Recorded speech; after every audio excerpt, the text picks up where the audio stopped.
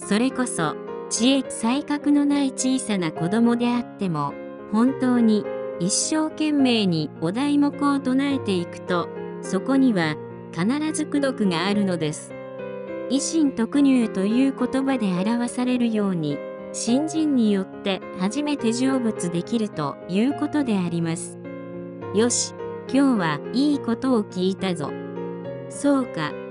祈れば何でも叶うのだな、ということだけではなく、やはりご自分で努力をしてください。